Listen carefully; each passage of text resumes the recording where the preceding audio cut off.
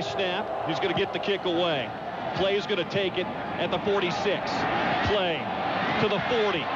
Back to the outside, Kaelin Clay. Still making men miss. He's got a convoy now, 30, 25, 20, 15, 10, 5, touchdown! The first Kaelin time. Clay, 47 yards, and a Utah touchdown! Clay brings it out, three yards deep. Kaelin across the 15 on his feet, 20, 25, 30. He's got room, 35, 40. They're not going to get him. 30, 25, 20, 15, 10, 5, touchdown! How 100 yards for Kaelin Clay.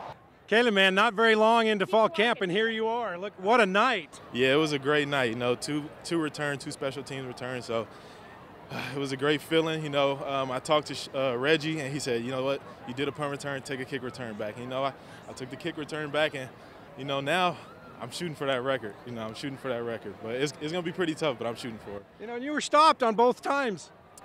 Yeah, it was crazy. I, the punt return, I thought I was like, ah, I don't know if I could get out of this one. But then I got out of it. You know, they set up great blocks, and then the kick return, I had to just make one guy miss, and you know the rest is history.